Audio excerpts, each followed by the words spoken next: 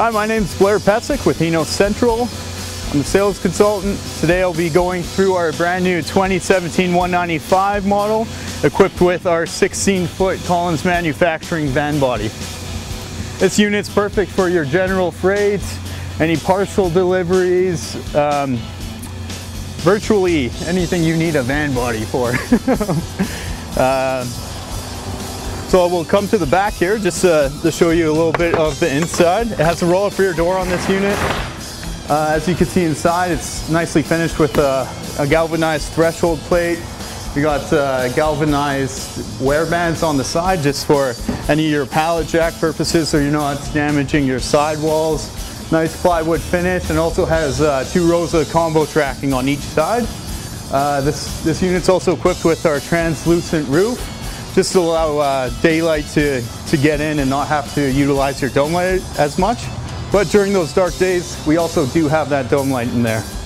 This unit also comes equipped with a pull-out ramp on it. Very easy to access. This one's 14 foot long.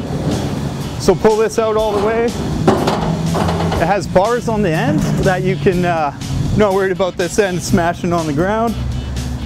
Lift this end up. Ugh. Yeah. and it hooks right into place onto, onto these, uh, these hooks here. So this would allow easy movements of um, materials with the safety included. You're not worried about your drivers jumping in and out of the van body. go ahead and put, put this back in.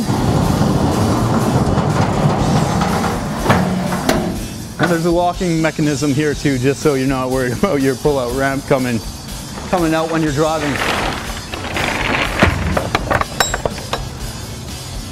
Another feature this has is stock bumpers so you can easily access stocks uh, and some rear grab handles too just for safety purposes of uh, getting in and out of the vehicle.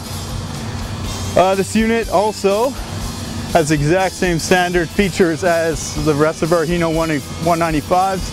So your power heated side mirrors, you got power windows, air conditioning. Uh, you also have exhaust brakes, Bluetooth capable stereo, um, that and much more, which we can, uh, if you ever have any further details or questions about our Hino 195, contact us at hinocentral.com.